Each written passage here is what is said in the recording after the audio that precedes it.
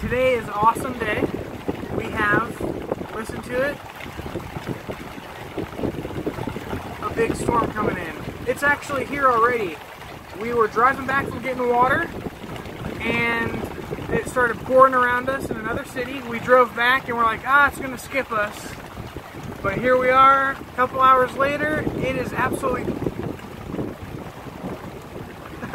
absolutely pouring.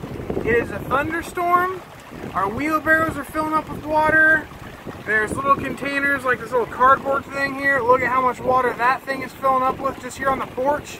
It is so much rain that was coming down in just a few minutes that it's already filled up some shallow containers. Um, there was hail the size of a dime coming down on top of the metal roof. Sounded incredibly loud and pretty amazing.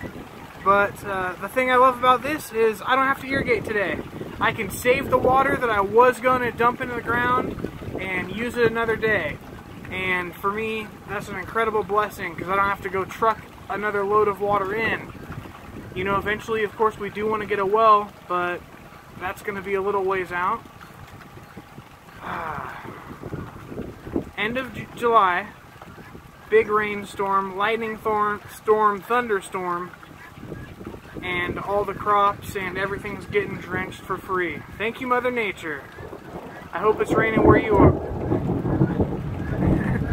I hope it's raining where you are. Let's see if I can get focus on this background here.